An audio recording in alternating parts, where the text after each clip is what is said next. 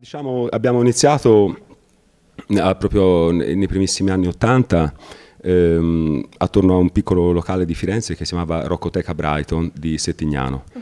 vicino Firenze, eh, dove il disc jockey si chiamava Nicola Vannini, che noi eravamo tre ragazzi appassionati di New Wave, chiedemmo a lui se voleva diventare il nostro cantante e lui lo fece. E poi eh, quasi subito dopo incidemmo un disco un piccolo 45 giri 7 pollici con un'etichetta che si chiamava Italian Records a Bologna. Questo 45 giri eh, ebbe una diffusione limitata, però finì nelle, alle persone giuste che ci permisero poi, magari ci dettero delle possibilità di suonare fuori Firenze, di uscire, no? di farci conoscere un pochino fuori. Quindi i primi concerti, le prime soddisfazioni. Poi da cosa nasce cosa? Nel frattempo la scena fiorentina era cresciuta molto. C'erano dei gruppi come Elite Fiba, i Neon e Pankov e tanti altri e quindi si affermò una scena, vennero fuori anche delle buone etichette, una si chiamava IRA, che voleva dire Immortal Record Alliance, e um, questa etichetta praticamente ci pubblicò il nostro primo album che si chiamava Siberia, uh-huh. eh, questo è il 1984 e questo disco ci portò molta fortuna perché più che altro eh, un, noi facevamo new wave, cantata in italiano, era un genere che andava affermandosi in quegli anni in Italia, e però cantata in italiano era una, una stranezza, una, una, un senso di originalità dava, che ci permise di suonare ancora di più in tutta Italia, di farci conoscere, anche la stampa specializzata ci dette un, buon, un buon, spazio e andammo a suonare anche all'estero, in Olanda, in Spagna, in Francia, in Svizzera, facevamo delle tournée europee insieme a Litfiba, molte, così. E poi dopo, negli anni verso, passavano gli anni, la New Wave non andava più tanto di moda, ci fu un periodo di calo, e che coincise col fatto che io prima suonavo solo la chitarra, poi decisi di diventare anche il cantante del gruppo, feci un extended play, si chiamava Gennaio e da lì poi dal 1990 in poi è ricominciata un po' la mia storia. Mi sono sempre diciamo, mosso in un ambito underground, eh, però eh, sempre ottenendo delle ottime soddisfazioni, cercando di fare sempre la musica che mi andava di fare, con pochi compromessi, eh, gestendomi proprio anche l'aspetto dei concerti e tutto e fino ai nostri giorni ho pubblicato tanti dischi in questi anni, tantissimi dischi. E l'ultimo si chiama Niente di serio, è uscito l'anno scorso, però siamo già a lavoro su pezzi nuovi, mi farebbe piacere entrare in studio in estate e pubblicare un album nuovo entro quest'anno. Eh, quella di oggi a Napoli è un concerto, il primo di una serie al sud, domani suoniamo a Bari e dopodomani a Foggia, uh-huh. poi martedì suoniamo a Milano e quindi insomma il lavoro c'è, i concerti vanno abbastanza bene, sono molto contento della data di questa sera a Napoli, anche una bella affluenza di pubblico, insomma sono molto contento.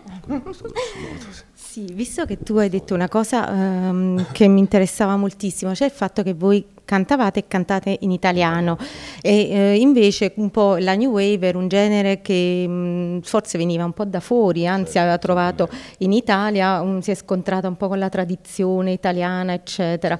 Mm, io vabbè, forse qui a Napoli non ricordo di avere visto una scena molto forte, forse a sì. Firenze, ecco, tu hai citato sì. dei gruppi. Sì. Eh... Eh, in quegli anni, nel 1985, c'era un gruppo che era di Salerno, però eh, si chiamavano Splinfix. Ah che a me piacevano molto, erano molto teneri, vennero a suonare a Firenze in un locale che si chiamava Banana Moon. Uh-huh. Mi ricordo sempre perché il chitarrista aveva quella sera una congiuntività agli occhi tremenda. Uh-huh. Allora mi ricordo che parlavamo un po', stiamo un po' insieme, era un ragazzo molto dolce, non so, più, non so come se lo siamo persi di vista. Eh, noi abbiamo, abbiamo, suonato a Napoli comunque, ora no, non voglio parlare solo, eh, magari, mi farebbe eh, piacere, Splinfix di Salerno. Ma avevo già, mi ero già mosso con altre persone, forse lo trovavo. E comunque, ora non per parlare sempre di noi, comunque a Napoli suonammo nel 1985, no, nel 1983 una prima volta nei, ai quartieri spagnoli al Teatro Nuovo si chiamava. Ah, okay. Poi nell'85 in un locale si chiamava Diamond Dogs nel rione Sanità. sì, queste me le ricordo bene, queste sì, que queste mm, mi rimasero molto in mente questi concerti qua. E poi insomma anche altri ne abbiamo fatti, insomma, però questi due sono molto, insomma, me li ricordo bene. Sì. Eh, sì, no, giustamente, chiaramente la New Wave nasce in Inghilterra, chiaramente noi eravamo appassionati di gruppi come Joy Division e tanti altri, Cure, New Order, tanti altri. Sì, nasce musica straniera, eh, cioè una musica quindi cantata in inglese e anche noi abbiamo dovuto scontrarci molto all'inizio perché il fatto che cantavano in italiano era visto da molti giornalisti, da molti puristi, da molti esterofili come una non un tradimento, insomma un, quasi un aborto, cioè una cosa che non aveva senso. Noi però insomma siamo andati dritti per la nostra strada e piano piano anche una via al rock, non soltanto noi, ma insomma Elite FIBA, i, tanti altri gruppi hanno dimostrato, i CCCP, insomma hanno dimostrato che si potevano fare buone cose cantando nella nostra lingua. Adesso è quasi opinione comune che si faccia rock cantato in italiano, eh, però ti assicuro appunto negli anni Ottanta era dura farsi accettare, non era facile. Quindi era addirittura un, eh, una cosa quasi negativa, un'accezione sì, così, da, da, perché da era una particolarità. Sì, da, da, molti sì, perché appunto il rock è, in, è, anglosassone, il rock nasce in Inghilterra, quindi è cantato in inglese. Soprattutto la New Wave con questi sì, accenti un po' scuri, un po' certo, tristi. Certo. No, noi abbiamo cercato una via italiana, cioè di, di, di, di mettere qualcosa di di personale, così a livello di testi, di intimo. Io sempre scrivevo poesia all'epoca e quindi abbiamo cercato di mettere queste poesie in musica con una sensibilità un po', eravamo, noi eravamo tristi, persone un po' ombrose, cupe, malinconiche, per cui sai Siberia evocavamo molte anche atmosfere un po' cupe, un po' malinconiche.